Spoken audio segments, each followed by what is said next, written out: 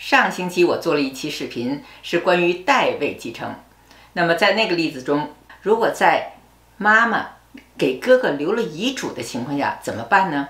这个代位继承发生不发生呢？哎，我上次呢就说错了，一位网友呢提出了疑问，然后我咨询了王律师，今天我就把这个情节呢再跟大家讲一下，同时把那个错误纠正一下。那我再把这个例子说一下，实际上这个例子是设计的一个例子，就是为了把事情说清楚。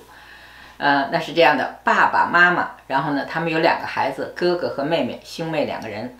爸爸先去世了，若干年之后呢，妈妈又去世了。而在妈妈去世前不久呢，哥哥去世了，那就是妈妈去世的时候呢，只剩下妹妹了。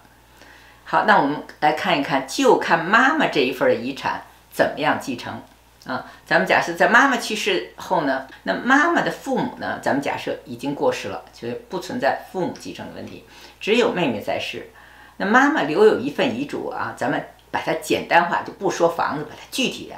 妈妈留下了有一百万人民币，然后妈妈在遗嘱上说呢，给哥哥百分之六十，给妹妹百分之四十，也就是哥哥拿六十万，妹妹拿四十万。那现在呢？妈妈去世以后呢，给哥哥的这个百分之六十六十万人民币由谁来继承呢？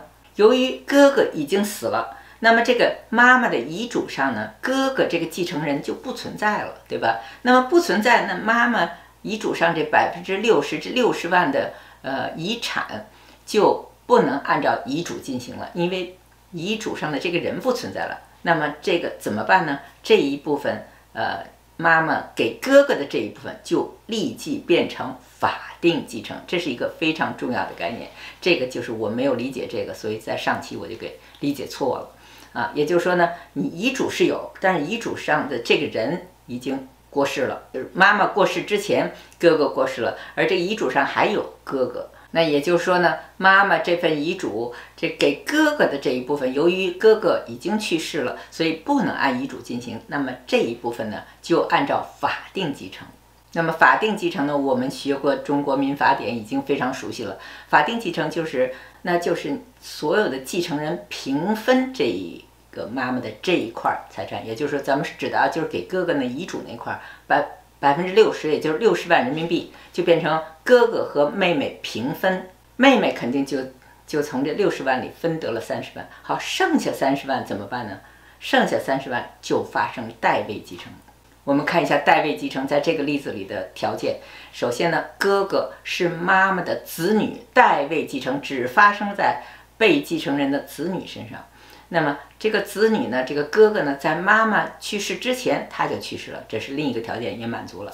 然后呢，这是法定继承的情况下，所以呢就发生代位继承。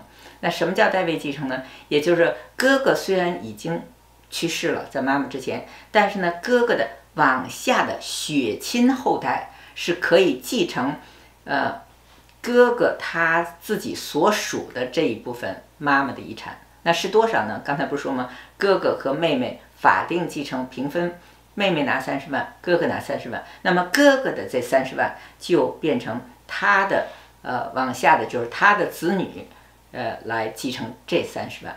啊，这就是代位继承。那么代位继承呢？注意啊，往下他一定是他的子女，血亲子女，就是他自己亲生子女，他的配偶就没有。这就是代位继承的概念。那我们再来看一下妈妈这个遗产最后这个继承的结果是一个什么样呢？首先，他按照遗嘱继承，那么妹妹是得到按照遗嘱，她得到四十万。然后呢，妈妈的这个六十万是给哥哥的，但是由于哥哥已经去世了，呃，就不能按遗嘱继承了，按法定继承，以平分。妹妹从这六十万里得到三十万，所以妹妹呢就从四十万加上这三十万，妹妹得到了七十万。哥哥这份呢，就法定继承就是继承了三十万，那么这三十万呢，进行代位继承给哥哥的血亲子女，他们总共得到三十万，不管他有几个子女，他们再去进行平分，这就是代位继承的这么一个概念。那还有一点呢，在代位继承里面，这个代位继承人，他们就和他他们的爸爸，也就是哥哥的位置一样，是和那个妹妹，也就是他们的叫姑姑。啊，是一样的权利，作为这个代位继承人去办理这个整个遗产继承的手续是这么样一个位置。那我希望呢，我今天这个解释呢，把上次那个错误纠正了，能把这个事情能说清楚啊。特别是遗嘱继承的上面这个遗嘱人已经死亡情况下，就变成法定继承这一点，我上次的概念不清。